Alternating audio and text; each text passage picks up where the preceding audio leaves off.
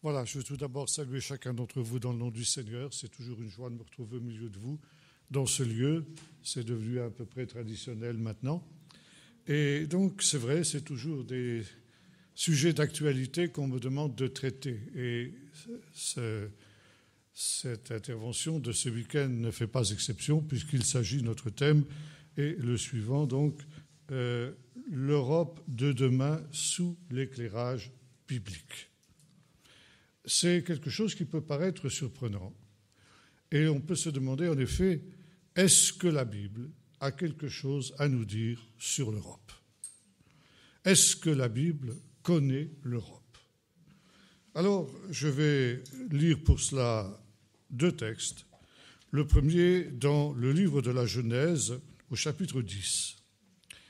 C'est ce que l'on appelle la table des nations c'est-à-dire euh, la répartition des peuples qui sont euh, issus des trois fils de Noé qui sont sortis de l'arche.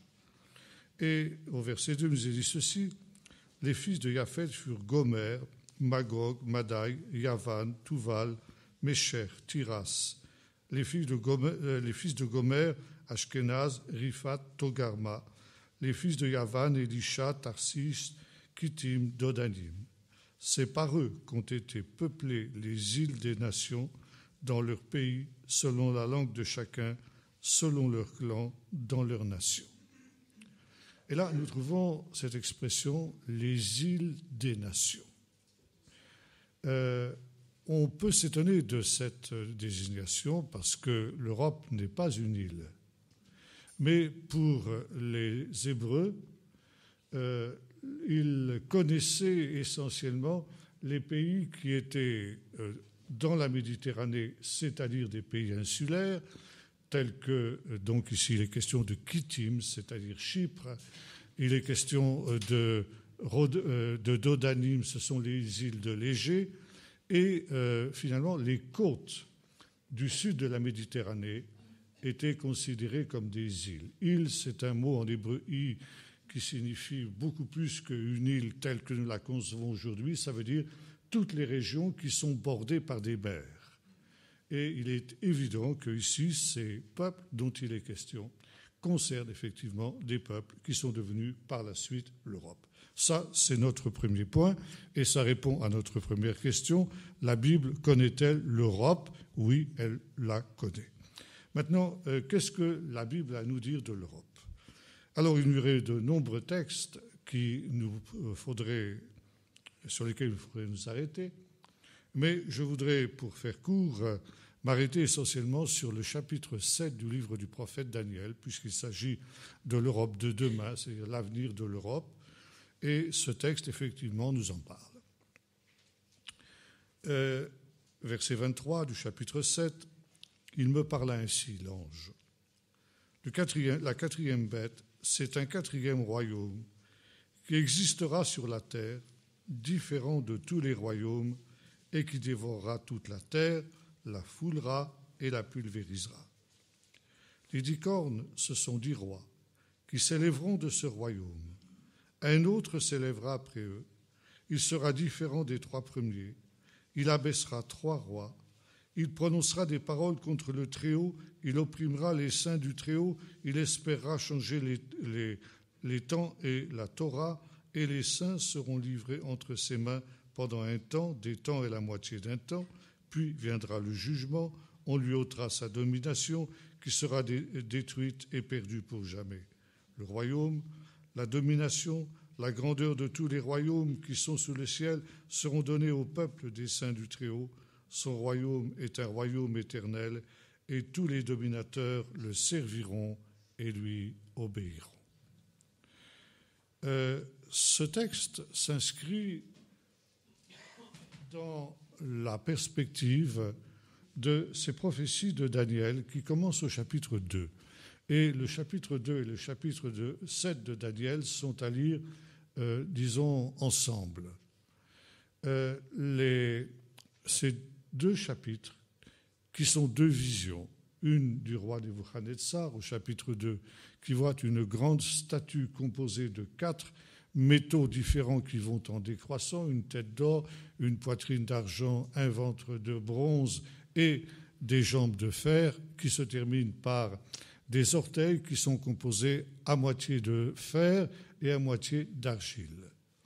Et euh, alors que le roi est en train de regarder cette grande statue, une pierre se détache de la montagne sans le secours d'aucune main, ça veut dire sans aucune intervention humaine, vient frapper la partie faible de cette statue, à savoir ses pieds d'argile, et cette statue disparaît. La pierre en question devient, elle, par contre, une grande montagne qui remplit toute la terre. La vision du chapitre 7 complète celle euh, du chapitre 2 et les quatre empires qui sont représentés par ces quatre métaux sont représentés par quatre animaux féroces. Le premier étant un lion, le deuxième un ours, le troisième un léopard et le quatrième une bête fantastique avec dix cornes, etc., des ongles de, bronze et des dents de fer, et euh, par conséquent ici une bête qui n'existe pas sur la terre, mais qui est une bête terrible parce que ce quatrième empire, ce quatrième royaume doit être le plus terrible de tous les royaumes qui l'ont précédé.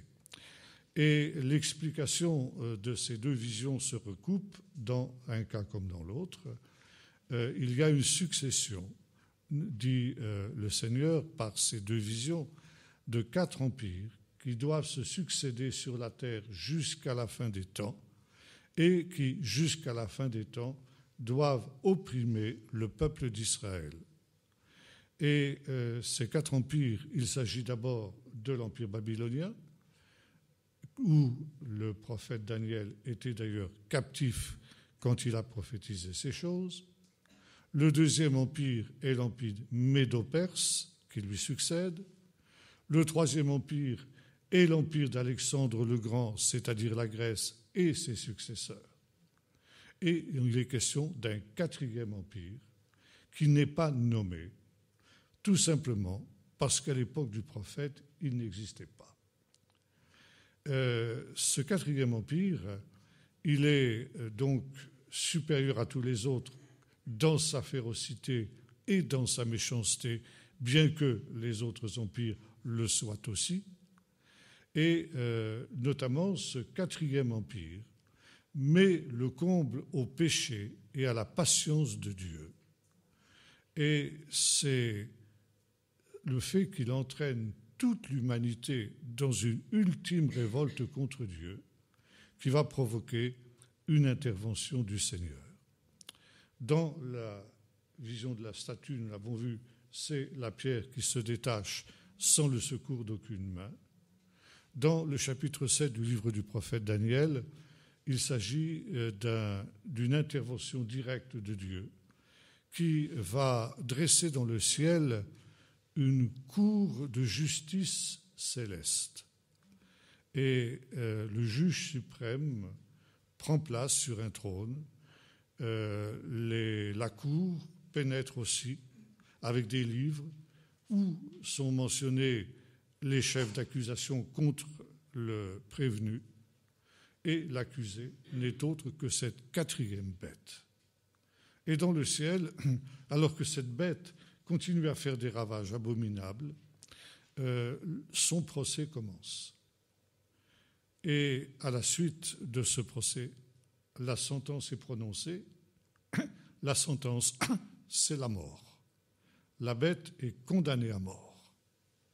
Et après que la sentence ait été prononcée, arrive sur les nuées du ciel quelqu'un, nous était dit, qui a l'apparence d'un, en, araméen, ça se dit Bar Enoch, c'est un des rares textes qui soit écrit en araméen dans la Bible, et qui correspond à l'hébreu Ben Adam, ce qui signifie essentiellement un être humain. Un être humain qui contraste avec ces bêtes féroces qui sont sans cœur et sans entrailles.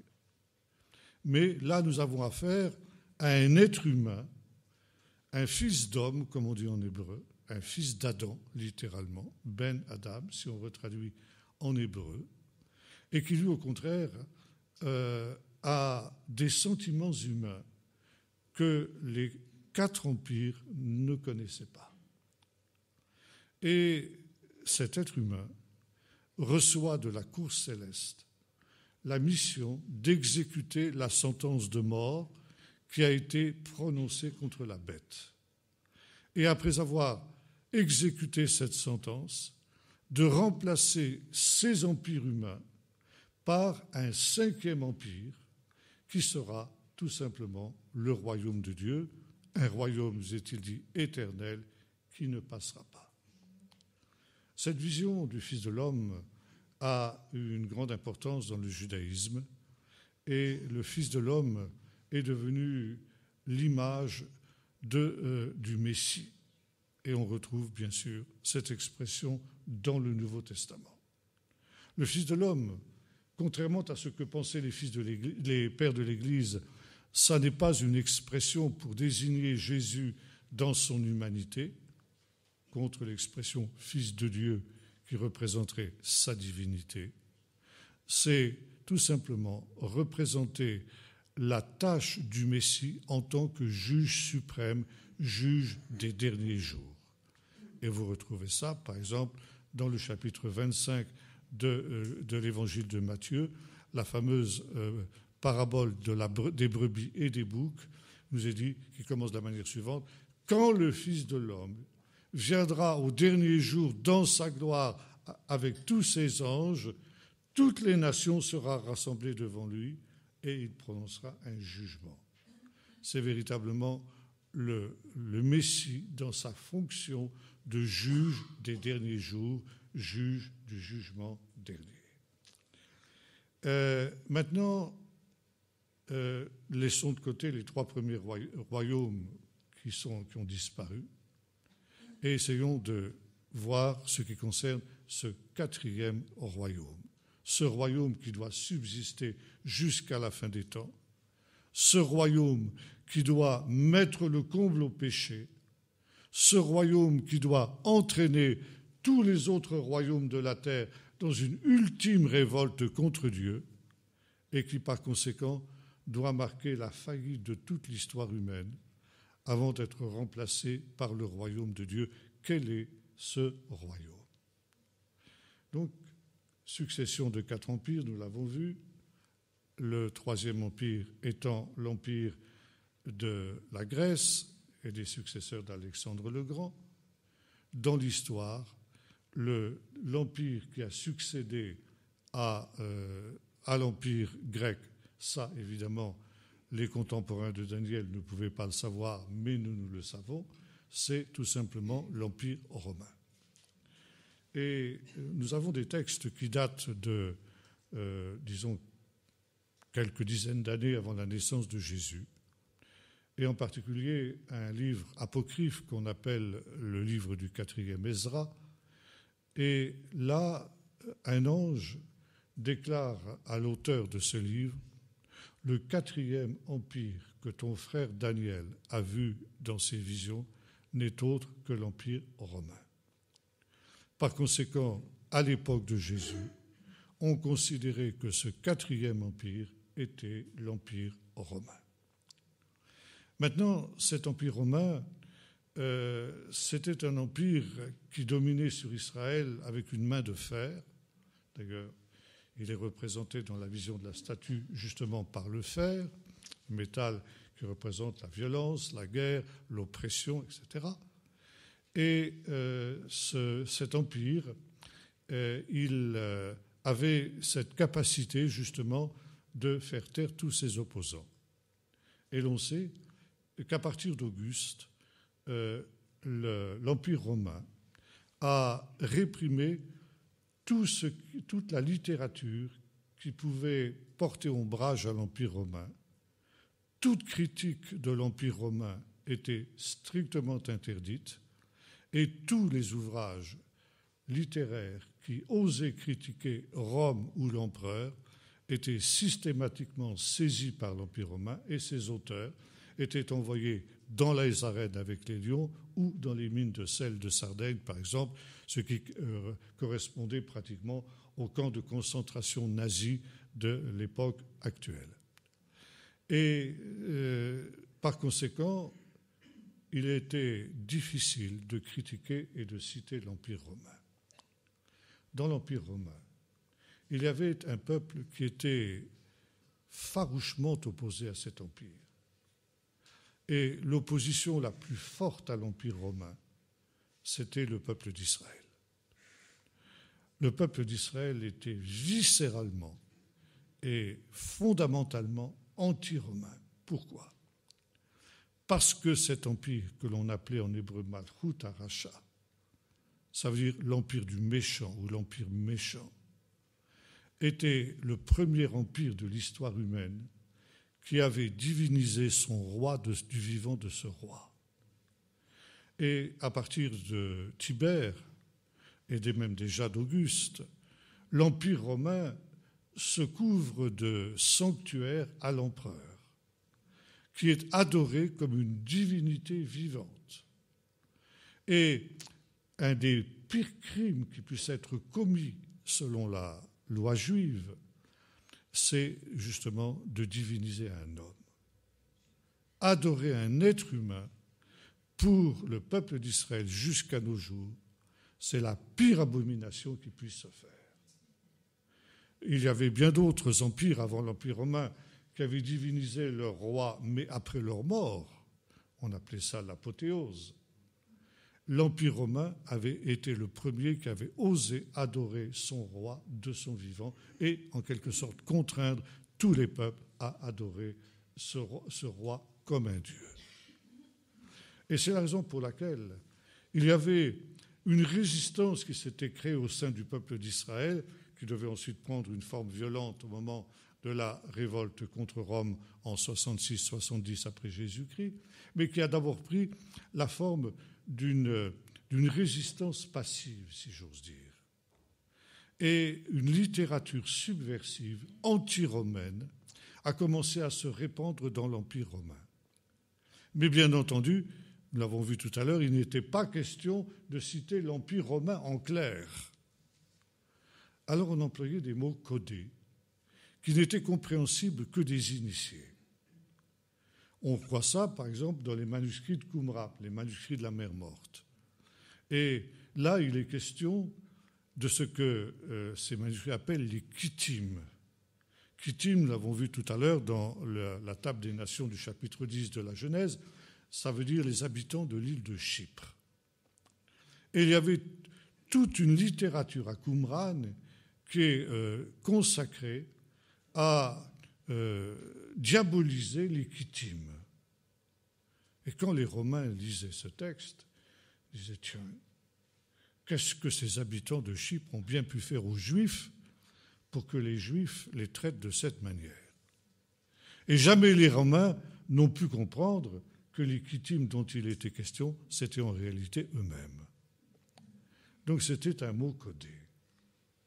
Il avait une autre manière aussi de désigner les Romains, nous l'avons vu tout à l'heure dans la table des nations, j'ai dit, ce sont ces peuples qui ont peuplé les îles des nations.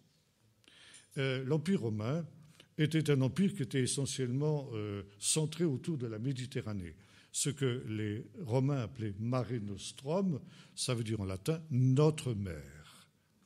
Et euh, l'Empire romain était à son apogée, donc à peu près à l'époque du Nouveau Testament, euh, une, mosaïque de nations et de peuples divers. Et c'est la raison pour laquelle, euh, en Israël, dans cette littérature subversive que j'évoquais tout à l'heure, on désignait aussi les Romains sous le nom des nations. Les nations, ça voulait dire les Romains. Il est très intéressant de noter que vous trouvez cette expression souvent dans le Nouveau Testament, dans les évangiles. Par exemple, lorsque Jésus annonce sa, mort prochaine à ses disciples, trois annonces qui sont données de Jésus quant à sa passion.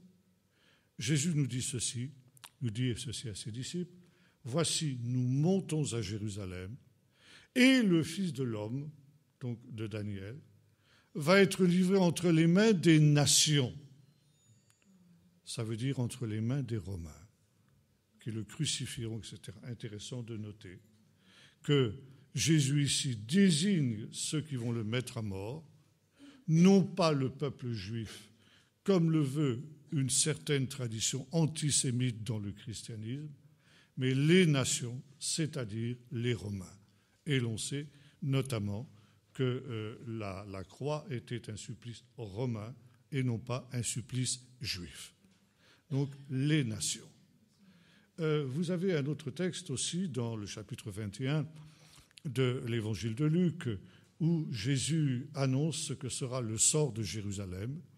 Il dit, euh, les habitants de Jérusalem tomberont sous le tranchant de l'épée, ils sont emmenés captifs parmi toutes les nations, et Jérusalem sera foulée aux pieds par les nations, allusion à cette prophétie de Daniel, où cette quatrième bête, avec ses, ses ongles de bronze, foule aux pieds le sanctuaire. Jérusalem sera foulée aux pieds par les nations, jusqu'à ce que les temps des nations soient accomplis.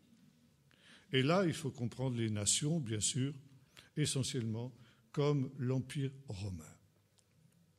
Nous avons un troisième texte aussi où Jésus aussi désigne les Romains par ce mot codé, les nations, et autrement, l'Évangile n'aurait pas pu venir jusqu'à nous si le mot romain avait été mis en clair parce que les Romains auraient interdit ce livre. Euh, on demande à Jésus, c'est le soir de Pâques, il y a une querelle entre les disciples pour savoir qui est le plus grand.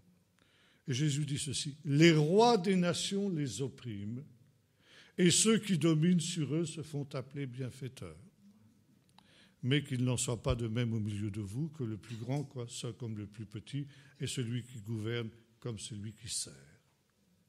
Les rois des nations, ce sont évidemment les empereurs romains, qui reçoivent toutes sortes de titres flatteurs, euh, bienfaiteurs de telle ville, de tel endroit, etc. Euh, on se plaisait à flatter les empereurs pour en obtenir évidemment le maximum de bénéfices et d'avantages. Donc ici, Jésus désigne les Romains comme étant justement ce quatrième empire. Et enfin, il y avait une troisième expression par lesquelles on désignait l'empire romain. Je vous ai dit tout à l'heure que euh, euh, l'empire romain était un empire qui était composé de cette multitude de nations euh, groupées autour de la, Méditerranée, de la Méditerranée sur les deux rives de la Méditerranée. Euh, à l'époque où Daniel a prophétisé dans les termes que nous avons vus tout à l'heure, encore une fois, l'Empire romain n'existait pas. Donc il était impossible pour Daniel, comme pour les prophètes d'ailleurs qui l'ont précédé, de désigner par son nom cet empire. Alors ils ont laissé dans le vague. Et il y a des textes très étranges dans les prophéties bibliques. C'est qu'il est fait souvent allusion à un royaume qui, au temps de la fin, doit jouer un rôle essentiel dans les choses dernières. C'est le royaume d'Édom.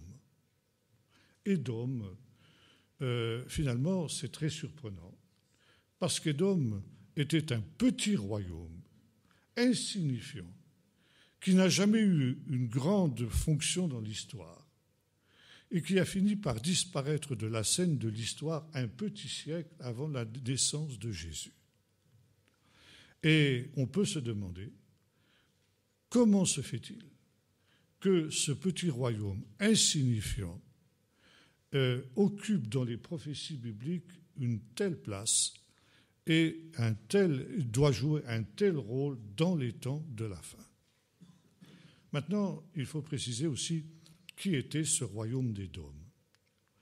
J'ai cité tout à l'heure euh, ce texte où Jésus dit les rois des nations les dominent et ceux qui se font, qui euh, les gouvernent se font appeler bienfaiteurs, qu'il n'en soit pas de même pour vous. Mais que le plus grand soit euh, comme le plus petit parmi vous et celui qui gouverne comme celui qui sert. Et là, Jésus fait allusion à euh, une réalité qui se trouve décrite dans le livre de la Genèse et qui concerne les ancêtres du peuple d'Israël et le deuxième des patriarches, à savoir Isaac. Isaac, euh, dont la femme était stérile, Rebecca, jusqu'au moment où le Seigneur aussi lui avait permis d'enfanter. Et très vite, Rebecca s'est rendue compte qu'elle était enceinte de jumeaux. Bon, c'est assez banal, mais ce qu'il est témoin, c'est que ces jumeaux, alors qu'ils n'étaient pas nés, étaient en train de se battre dans son ventre. C'est plutôt euh, inquiétant si ces deux garçons ne sont pas encore nés et qu'ils sont déjà en train de se battre dans le ventre de leur mère, qu'est-ce que ça va être quand ils seront nés? Et euh, Rebecca comprend qu'il y a quelque chose d'assez extraordinaire. J'ai dit, elle va consulter l'Éternel. Et le Seigneur lui dit ceci, deux peuples sont dans ton ventre, et deux nations se sépareront au sortir de tes entrailles le plus grand sera assujetti au plus jeune. Et de fait, lorsque vient le moment de l'accouchement, le premier des garçons sort. C'est un garçon qui est euh, couvert d'un duvet roux. Et on va l'appeler pour cette raison Essave. En français, ça se dit Ésaü. En hébreu, ça veut dire le velu. Et ce duvet, il est roux. Alors on va lui donner un deuxième nom, Edom. Ça vient de la racine Adom, qui signifie rouge, roux. Et donc, euh, Edom, c'est le premier des jumeaux de Rebecca. Sort son frère, qui lui tient le talon d'Ésaü dans ses mains. Et à cause de cela, on va l'appeler Yaakov, du mot hébreu Akov, qui signifie le talon. Et on peut traduire cette expression Jacob par le talonneur. Mais Akov, ça veut dire aussi autre chose. Le talon, c'est l'endroit où la, jambe se tord. Et Akov, ça vient d'une racine qui signifie tordu. Et on peut aussi euh, euh, traduire l'expression Jacob, Jacob comme le tordu. Et de fait, l'histoire postérieure montrera que ce garçon méritait bien son nom. Il avait un caractère particulièrement retors. Et de fait, il va y avoir antagonisme, conflit entre ces deux frères. Bon, tout le livre de la Genèse nous parle de ce conflit jusqu'au moment où il y a réconciliation. Ça aussi, nous en parlerons tout à l'heure. Mais, comme l'ont dit les sages d'Israël, ce qui est arrivé aux patriarches est une prophétie de ce qui arrivera à leurs descendants. Et il va y avoir effectivement conflit entre les descendants de Jacob, c'est-à-dire Israël, et les descendants d'Ésaü et d'Homme, c'est-à-dire effectivement le peuple des Édomites. Mais ça n'ira jamais très très loin dans l'histoire. Alors justement, on revient à notre question, comment se fait-il que le pays d'Édom, le peuple d'Édom, doit jouer un rôle important à la fin des temps? Et les sages d'Israël nous disent ceci. Quand nous avons une prophétie messianique qui commence par l'expression Voici les jours viennent, dit le Seigneur, ou Dans ces temps-là, dit le Seigneur, quand vous avez ce texte-là, vous pouvez être sûr que vous avez affaire à une prophétie qui touche à la fin des temps. Eh bien, s'il est question d'Édom dans un texte qui commence de cette manière-là, il ne faut pas comprendre l'Édom historique, qui était ce petit royaume qui était situé grosso modo entre le sud de la mer Morte et la mer Rouge, mais il faut comprendre le quatrième royaume dont il est question dans le livre de Daniel. Ce royaume que les prophètes ne pouvaient pas nommer parce qu'ils ne le connaissaient pas, mais ils l'ont désigné par le nom d'Édom. Et Pourquoi? Pour deux raisons. Jésus le reprend aussi dans le texte que j'évoquais tout à l'heure.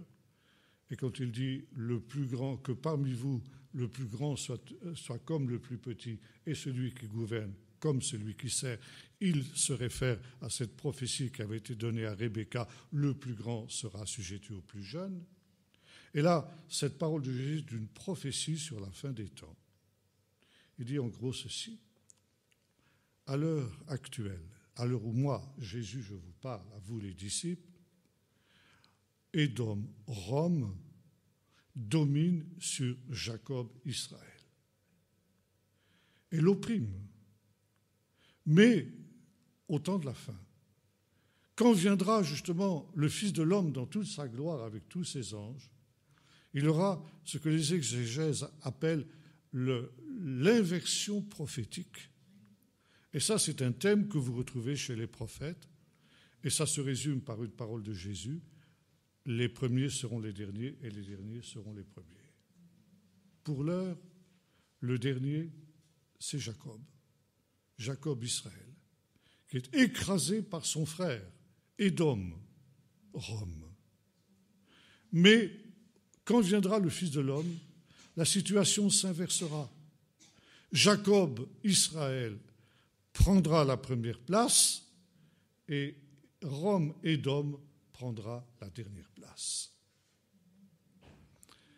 Alors, ici, nous voyons que, en fait, euh, Rome, c'est quoi? Ben, Rome, c'est l'Europe. Vous allez dire, bon, à l'époque de Jésus, ça se comprenait. Mais euh, depuis l'époque de Jésus, l'Empire romain a disparu.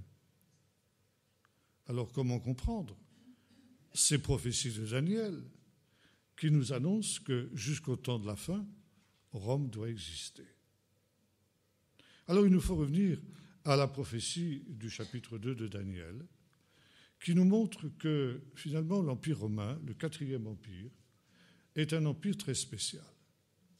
Il est représenté par les deux jambes de la statue qui sont de fer, et ce faisant, il est monolithique, il est composé uniquement de fer. Mais il y a un deuxième temps dans l'existence de cet empire où d'abord il se divise en dix orteils, et dix orteils qui sont composés euh, à la fois de fer et d'argile. Ça veut dire qu'il devient un empire qui n'est plus homogène, mais qui est hétérogène. Et les sages d'Israël ont expliqué ceci, c'est que euh, Rome connaîtra une sorte d'éclipse et elle se divisera en un certain nombre de royaumes. Dix, pour eux, ce n'est pas un chiffre à prendre à la lettre, mais un certain nombre de royaumes qui euh, seront issus de l'éclatement de l'Empire romain. Et l'on sait que dans l'histoire, ce fut ainsi.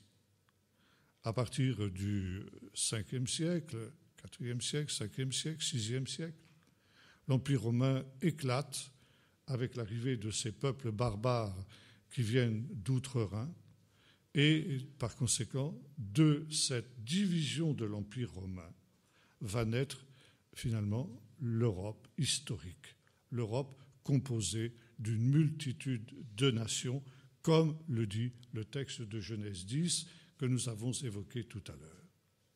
Mais il est intéressant de noter que dans l'histoire de l'Europe, l'Empire romain unifié est toujours resté comme euh, euh, un mirage vers lequel on a toujours essayé de se diriger.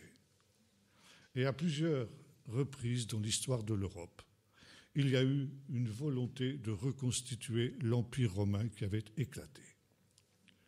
Ce fut d'abord Charlemagne, en l'an 800, qui se fait couronner empereur d'Occident après que l'Empire d'Orient ait subsisté à cette désintégration de l'Empire romain d'Occident.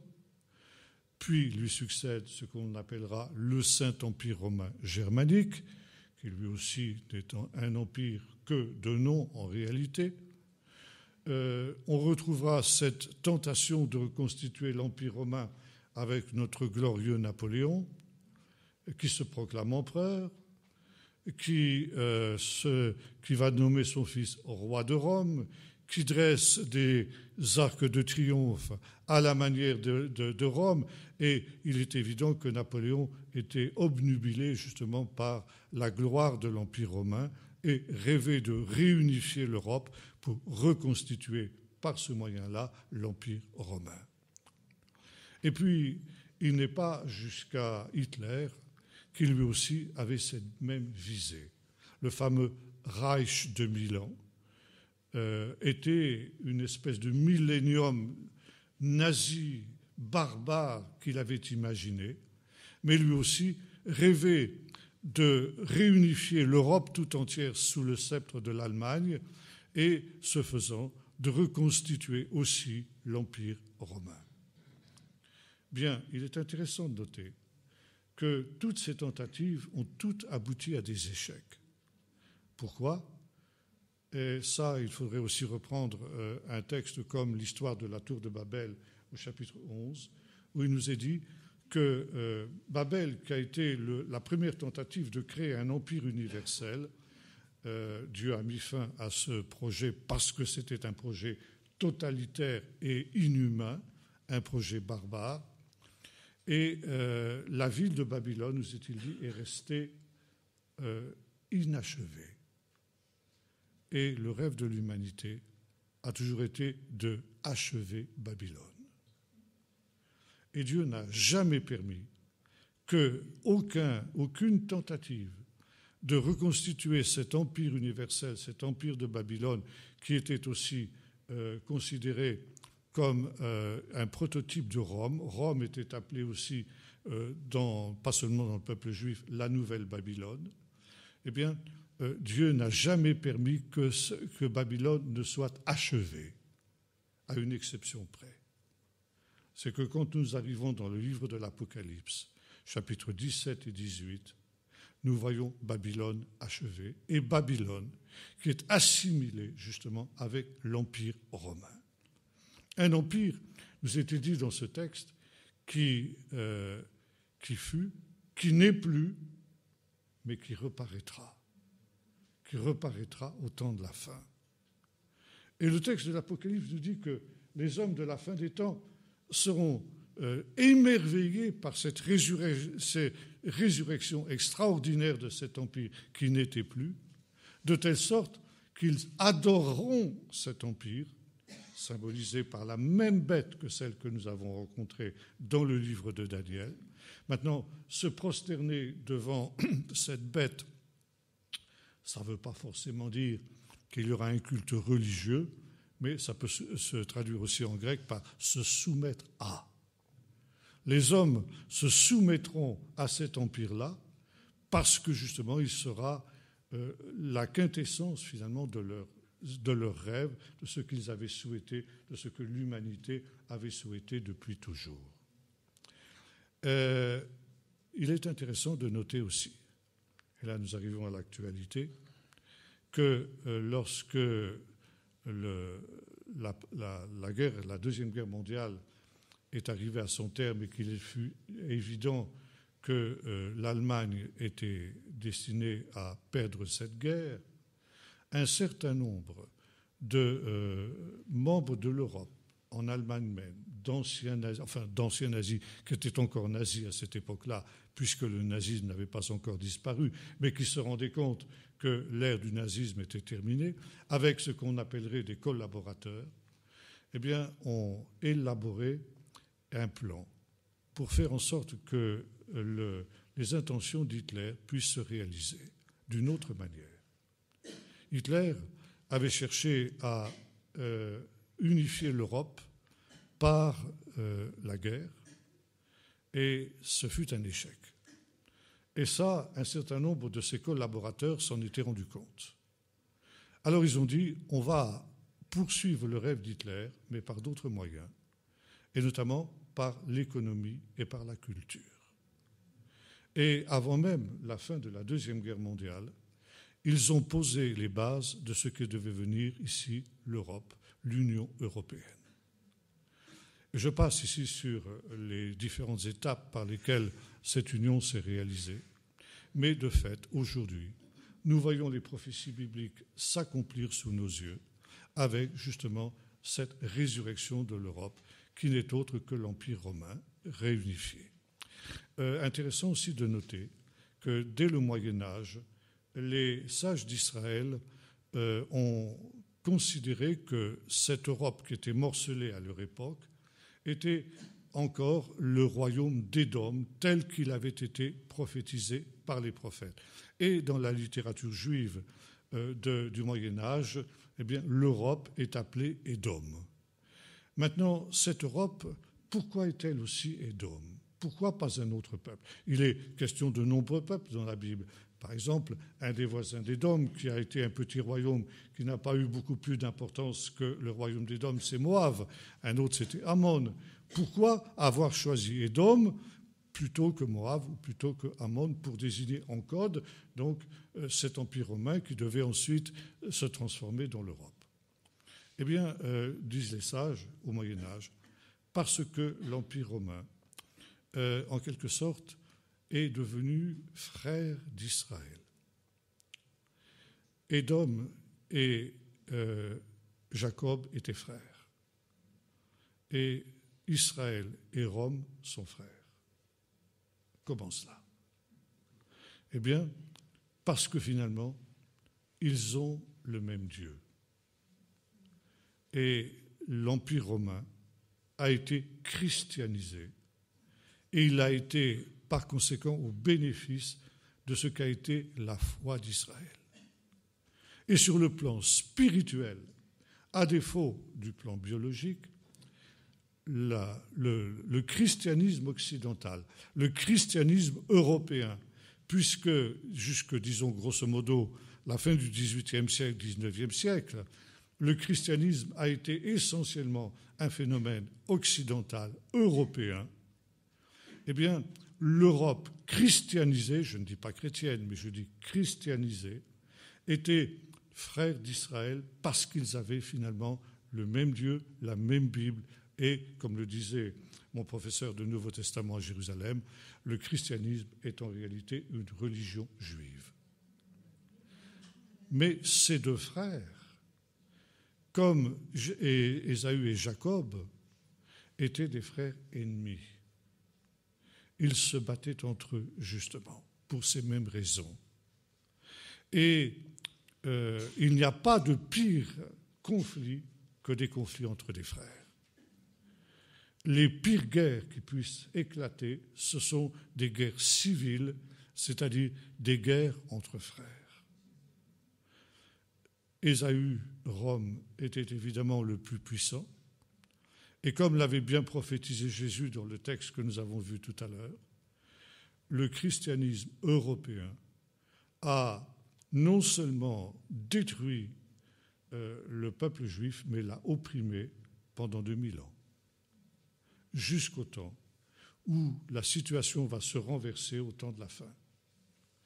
Et voyez-vous, euh, toute cette histoire tragique, finalement, c'est aussi une histoire qui a un aspect positif dans ce sens, que quand nous lisons justement le livre de la Genèse, et notamment euh, ces démêlés entre ces deux frères, Ésaü et Jacob, il y aurait beaucoup de choses très intéressantes à dire, eh bien, ces réalités, ces démêlés entre ces deux frères sont prophétiques de ce qui arrivera à la fin des temps. Et après des périodes de tension très vives entre les deux frères, au point que lorsque Jacob est rentré dans son pays euh, à la fin de son séjour chez Laban, eh son frère Ésaü, qui n'avait rien oublié de ce qui s'était passé euh, vis-à-vis -vis de Jacob, était venu à sa rencontre avec 400 hommes pour le tuer. Donc vraiment une guerre fratricide qui devait se terminer par un bain de sang. Mais entre-temps, euh, un événement a changé complètement le cours de l'histoire. C'est qu'avant de franchir le Jourdain, Jacob a fait une rencontre avec un mystérieux personnage avec lequel il s'est battu toute la nuit, mystérieux parce qu'il faisait noir, Il ne pouvait pas voir son visage. Il ne savait pas à qui il avait affaire. Et ce n'est que lorsque le soleil s'est levé à l'aube qu'il a vu le visage de son adversaire. Et là, Jacob a paniqué, parce qu'il s'est rendu compte que cet adversaire, c'était un ange, et pas n'importe lequel, ce que la, celui que la Bible appelle l'ange de l'Éternel, et que même la tradition juive assimile avec le Messie. L'ange de l'Éternel, c'est ce que les théologiens l'appellent une hypostase divine, c'est-à-dire une manière que, Dieu emploie pour se rendre sensible, perceptible à l'homme. Et par conséquent, il prend une forme humaine, mais en même temps une forme d'un homme qui, qui apparaît comme étant un homme extraordinaire. Or, Jacob est face à face avec ce personnage. Et il réalise qu'il est en face de l'ange de l'Éternel, c'est-à-dire de Dieu lui-même, qu'il se bat contre Dieu. Et il sait que voir Dieu face à face, c'est la mort. Aucun, être humain ne peut voir la face de Dieu et vivre. Et même Moïse, Dieu avait dit, tu ne pourrais pas voir ma face, car l'homme ne peut pas voir la face de Dieu et vivre. Et Jacob comprend qu'ayant vu Dieu face à face et s'étant battu contre lui, il est en danger de mort. Et l'ange lui dit, maintenant laisse-moi aller, parce que le jour est venu. Et Jacob dit, non, non, non, non, je ne te laisserai pas aller sans que tu m'aies béni.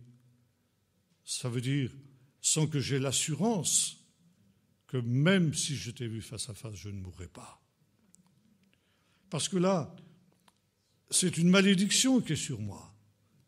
Avoir vu ta face et m'être battu contre toi, c'est une malédiction qui logiquement doit me conduire à la mort. Alors change cette, malédiction en bénédiction. Et l'ange va le bénir. Et là, Jacob traverse le Jourdain. Et il rencontre son frère avec ses 400 hommes. Et cette rencontre, qui aurait dû se terminer par un bain de sang, se termine par une réconciliation entre les deux frères. Et là, c'est très intéressant, le Midrash, c'est-à-dire la tradition juive, interprète prophétiquement justement cet épisode. Et il nous dit une chose très importante, il dit, quand nous reviendrons dans notre pays au temps de la fin, eh bien, les nations, Rome, s'alliant avec Amalek et avec Ishmaël essaiera de nous, de nous empêcher de rentrer dans notre pays. Et c'est exactement ce que nous sommes en train de vivre. Et l'Europe notamment euh, est en train de faire tout son possible pour s'opposer, j'en parlerai demain, à ce retour d'Israël dans son pays. Et euh, cela durera jusqu'à un moment très précis parce que finalement, pourquoi la rencontre entre Jacob et Ésaü, qui devait se terminer par un bain de sang, s'est-elle terminée par une réconciliation? Parce que nous disent les sages. En réalité, la colère d'Ésaü était la colère de Dieu contre Israël, parce que Jacob avait un contentieux avec Dieu, parce que Dieu n'était pas d'accord avec la conduite qu'avait été celle de Jacob, ce tordu dont nous avons parlé tout à l'heure, et qui avait trompé son frère, qui avait trompé son père, qui, qui avait trompé son beau-père, bref, Israël, Jacob ne pouvait pas rentrer dans le pays promis sans que cette vieille nature pécheresse et trompeuse et tordue soit mise à mort. Et finalement, ce combat avec l'ange, c'était le combat contre Dieu. Et c'est lorsque Jacob a eu réglé son contentieux avec Dieu, dans ce fameux combat de Péniel, que maintenant il a pu rencontrer son frère. Parce que la colère d'Ésaü était la colère de Dieu. Et quand Dieu n'a plus eu de colère contre Jacob, Ésaü n'en a plus eu non plus. Et ça a été la réconciliation entre les deux frères. Et les sages nous disent, c'est ce qui se passera au temps de la fin. Il faudra d'abord que nous rencontrions Dieu pour une transformation, pour une véritable résurrection spirituelle. Et à ce moment-là, la colère des nations, qui n'est autre que la colère de Dieu, disparaîtra. Et de la même manière qu'il y a eu réconciliation entre Ésaü et Jacob, il y aura réconciliation entre les deux frères ennemis, Rome et Israël.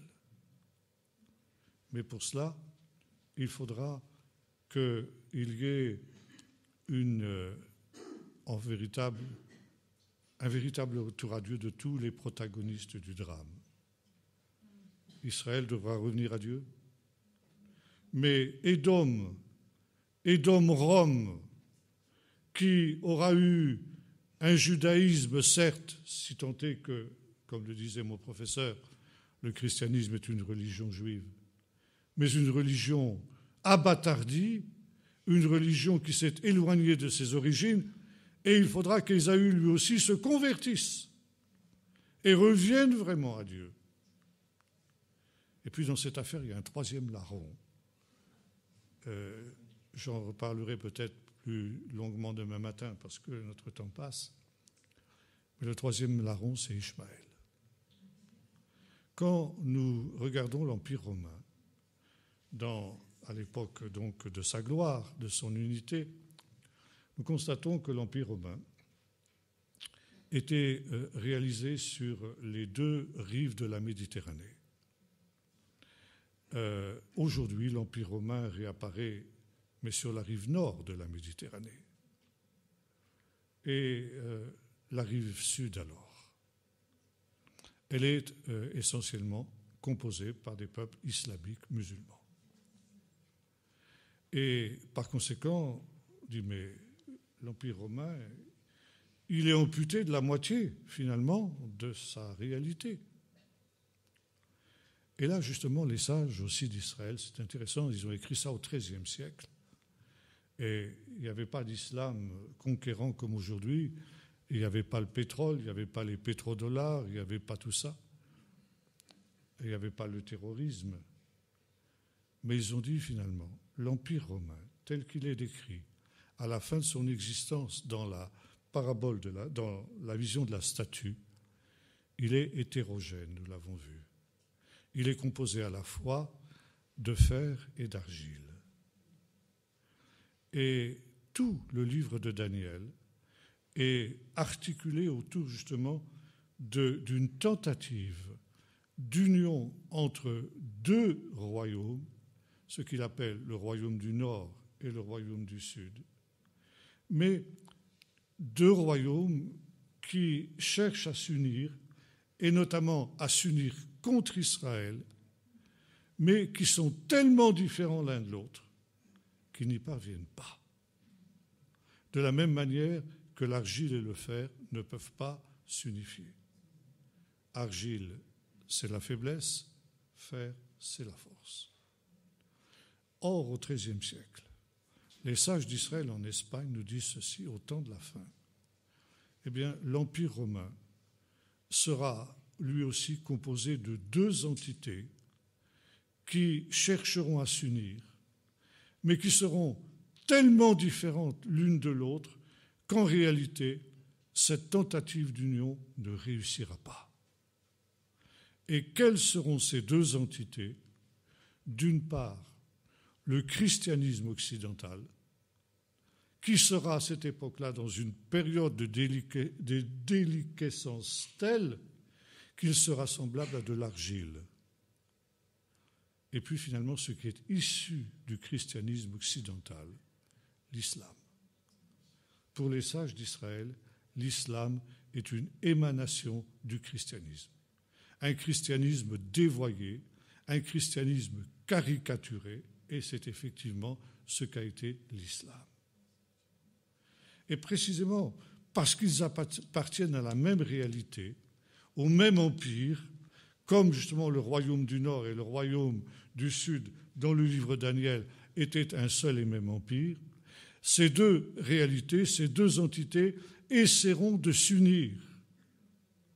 Mais de la même manière que l'alliance entre l'argile et le fer est impossible, l'alliance entre le christianisme et l'islam sera impossible, d'autant plus que le christianisme, à cette époque, sera décadent.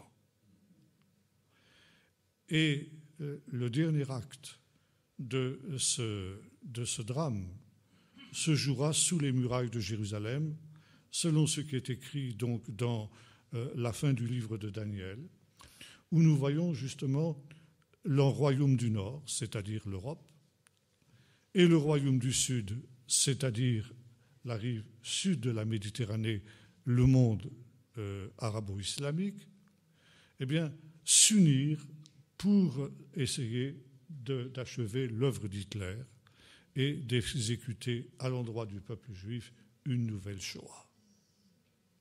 Mais, comme le dit la prophétie, à ce moment-là, se détachera de la montagne une pierre sans le secours d'aucune main et qui viendra frapper le point faible de la statue, les pieds, plutôt les orteils d'argile et de fer. Et le livre de Daniel, le chapitre 12, nous montre que ce qui se passera, c'est que ces deux entités eh bien, se brouilleront sous les murailles de Jérusalem, parce qu'elles ne peuvent pas s'entendre. Et notamment dans le livre de Daniel, au chapitre 8, me semble-t-il, il y a euh, une, disons, une mise en scène très intéressante. On nous dit que ces deux rois, le roi du Nord et le roi du Sud, seront assis à la même table, se diront des amabilités l'un l'autre, mais auront chacun des arrière-pensées. Chacun essayant de manipuler l'autre et de l'instrumentaliser pour aboutir à ses fins. J'ai cinq minutes encore. Euh, euh, je vais vous faire une petite confidence, je ne sais pas si je vous l'ai déjà faite, mais vous ne le répéterez à personne. Hein. Après la Bible, mon livre de chevet, c'est Astérix. Peux pas le dire. Et dans un Astérix, il y a une scène qui ressemble étrangement à celle-là. Ce sont deux centurions qui euh, pensent avoir obtenu le secret de la potion magique. Et grâce à cette potion magique, ils sont là ensemble et ils font un plan pour renverser César. Grâce à la potion magique, disent-ils, nous allons marcher sur Rome, nous allons détrôner César et à nous deux, alors c'est très amusant, nous ferons un triumvirat et nous prendrons le pouvoir à Rome. Triumvirat, pour ceux qui ne le sauraient pas, c'est du latin, ça veut dire euh, un gouvernement de trois hommes. Déjà dire à nous deux, nous ferons un triumvirat, vous voyez, c'est assez comique. Alors ils trinquent à leur projet, formidable. Et vous voyez une petite bulle, vous savez, avec des, petits points qui montrent qu'ils sont en train de penser, mais ils ne prononcent pas ce qu'ils disent. Et des deux côtés, vous avez la même chose. Et quand j'aurai plus besoin de toi, tu iras dans l'arène avec les lions et le triumvirat, je le ferai à moi tout seul. eh bien, voyez-vous, dans l'histoire de Daniel, le chapitre 8, c'est exactement ça. Ces deux rois sont en train de, trinquer l'un l'autre à la réussite de leur succès, et en même temps, ils se disent, eh bien, quand j'aurai plus besoin de toi, je t'éliminerai. Pour le moment, j'ai besoin de toi. Mais quand j'aurai plus besoin, je t'éliminerai. Et c'est avant que leur projet ne soit exécuté qu'ils se brouillent l'un l'autre. Et sous les murailles de Jérusalem, eh bien, non seulement ils se brouillent, mais les deux armées s'entretuent l'une l'autre. Et Jérusalem est miraculeusement délivrée sans avoir besoin de combattre. Vous retrouvez le même scénario dans les chapitres 38 et 39 du livre d'Ézéchiel. Vous retrouvez ça aussi euh, dans des textes à caractère prophétique lorsque Joshaphat a dû déjà faire face à une coalition des peuples de Transjordanie. Et le Seigneur leur avait dit, vous n'avez rien à craindre de cela, euh, mais mettez-vous simplement derrière les chantres et les Lévites qui proclameront les louanges de l'Éternel, et quand ils arrivent de l'autre côté du Jourdain, eh bien, ils constatent que ces peuples se sont entretués les uns les autres et qu'ils n'ont plus qu'à récupérer les dépouilles. Voyez-vous, c'est ce qui se passera. Et voyez-vous, euh, cette, cette destruction des ennemis d'Israël eh bien, est indispensable pour cette grande réconciliation finale. Mais au temps de la fin, voyez-vous, toute cette histoire tragique est en réalité un happy end. Ça veut dire que les trois, les trois protagonistes de ce drame, Jacob, Ésaü et Ishmaël, c'est intéressant de noter que euh, Ésaü a épousé une fille d'Ishmaël. Ça veut dire qu'il y a eu alliance entre Ishmaël et Édom, ça veut dire entre l'Europe et le monde aussi euh, musulman.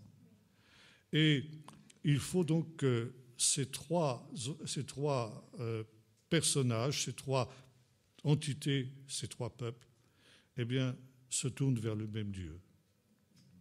Israël a besoin de revenir à Dieu et de reconnaître que Jésus est son Messie. D'Ishmaël, il nous est dit dans un texte prophétique au chapitre 25 de la Genèse, il tombe devant son frère, il se prosterne devant son frère, si vous retraduisez ça directement depuis l'hébreu. Et les sages nous disent, quel est le frère devant lequel Ishmaël se prosternera au temps de la fin? C'est le Messie, qui lui aussi est son frère, puisqu'il est aussi fils d'Abraham. Et le troisième, c'est Édom, c'est-à-dire qu'il lui aussi est spirituellement fils d'Abraham, puisqu'il appartient justement au christianisme. Et là, il y aura pour tous ces peuples une véritable reconnaissance de la gloire de Dieu, de la puissance de Dieu, après avoir été terrassés, après avoir été, euh, euh, comment dirais-je, mis dans une situation où ils ont été humiliés par la puissance de Dieu, alors ces trois peuples se tourneront vers le même Dieu, vers le même Messie, et par conséquent se réconcilieront les uns avec les autres, parce que d'abord, ils se seront réconciliés avec leur Dieu. Alors voyez-vous, si nous parlons de l'avenir de l'Europe, selon les prophéties, eh bien, c'est un avenir qui est difficile, mais qui aussi a une fin positive. Et demain, nous verrons justement à quel stade de cette évolution nous en sommes. Mais ce soir, j'ai simplement voulu vous dresser cette grande fresque prophétique euh, des origines de l'Europe depuis le début, depuis donc l'histoire du déluge jusqu'à la fin des temps, jusqu'à la venue du royaume messianique. Et finalement, ce qui est important pour nous que nous retenions de cette situation-là, c'est qu'il euh, nous faut justement traverser une période difficile avant d'arriver au but. Et euh, dans ces bouleversements qui vont se, produire, eh bien, il y aura plus d'une personne dans les trois entités eh bien, qui se trouveront donc euh, écartées justement du plan de Dieu. Et l'important justement, c'est d'être soi-même dans le plan de Dieu. Et il ne faut pas attendre les moments ultimes où peut-être nous n'aurons plus l'occasion de nous réconcilier avec Dieu. C'est maintenant qu'il faut le faire. C'est maintenant qu'il faut nous placer dans la situation dans laquelle se trouvait Jacob à Péniel et réaliser que peut-être certains d'entre nous sont dans une situation d'opposition au Seigneur, comme Jacob l'était, dans une position de, euh, de combat, combattre contre Dieu. Peut-être que nous n'avons pas conscience que c'est contre Dieu que nous, luttons, mais à partir du moment où nous luttons contre euh, ce qui est juste, ce qui est bien, ce qui est la volonté de Dieu exprimée dans sa parole, dans ses commandements, eh bien nous sommes en état de conflit et de contentieux avec Dieu.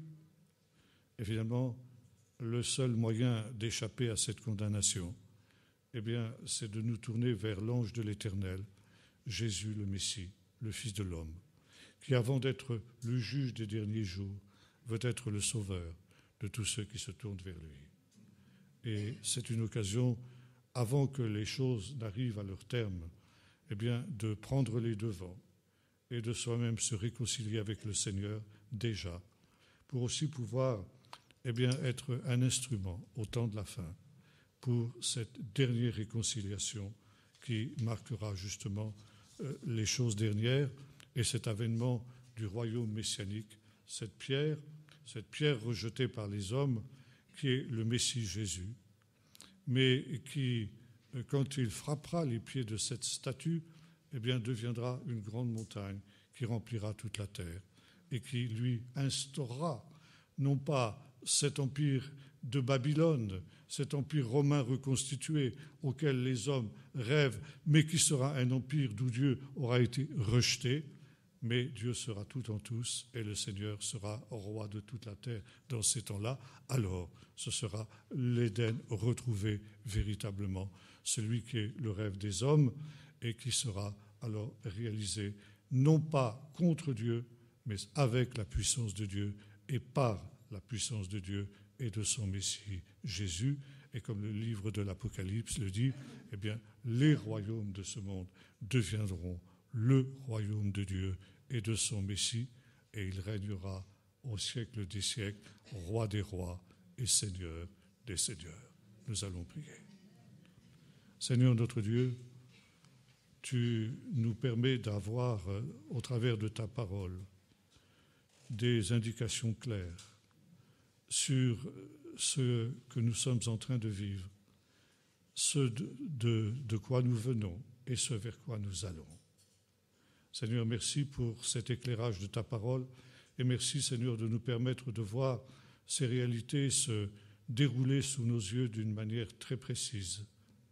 Seigneur, tu nous invite ce soir aussi à euh, déjouer ces événements tragiques dans notre propre vie parce que, Seigneur, tu t'intéresses à chacun d'entre nous d'une manière particulière pour avoir la force d'échapper à ces choses qui viendront et de paraître debout devant le Fils de l'homme.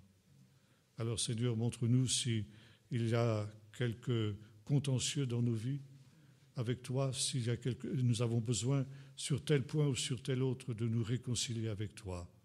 Et merci Seigneur pour euh,